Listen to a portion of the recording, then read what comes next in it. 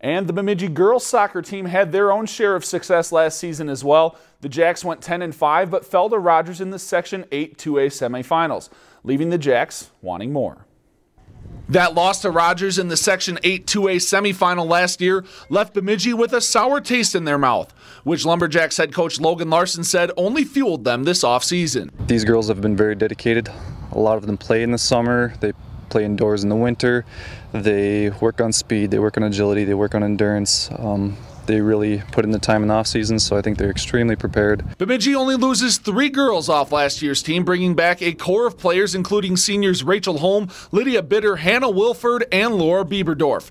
But even with experience comes some youth. We brought several girls onto the varsity squad this season that are freshmen, um, but they certainly earned it. It wasn't just filling spots. Uh, they deserve to be here and they'll see the field. The team knows they need the underclassmen to step up, but admit it's still a team game. It's extremely like extremely important that they step up, but at the same time like we don't want to have too much pressure on them too. They they know that we need them and they need us, and all together we work more of as a family in one unit. Their biggest obstacle will be developing chemistry between the older and younger players. Some of these girls are playing together for the first time, and so it's just how they work off of each other, how quickly they adapt to each other's style of play, what runs they make. Tryout week worked us through that and practices now, and it'll be good. I think it'll be nice to have some new faces, but it'll still I mean, we'll get to that chemistry. And if they can overcome that obstacle, they feel like nothing can stop this team. Fundamentally, we're there. Uh, in terms of physical conditioning, we're there. So I think it's just